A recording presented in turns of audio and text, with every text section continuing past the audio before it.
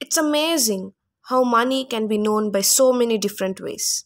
In a temple, church, or a charity, it's called a donation.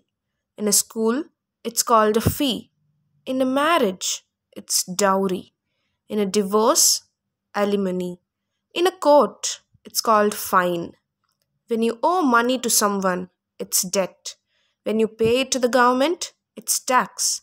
When you receive it regularly after retirement, it's called a pension. When an employer gives it to a worker, it's salary. When a master gives it to a servant, it's called a wage. When children receive it from their parents, it's an allowance. When you borrow it from a bank, it's called loan. When offered it after a good service, it's a tip. When paid to a kidnapper, it's called a ransom.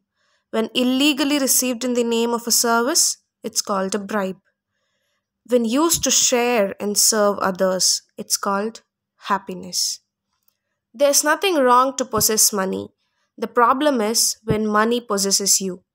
Earn more money, fulfill your needs, utilize your money to share and serve others, and transform the value of your money from currency to happiness.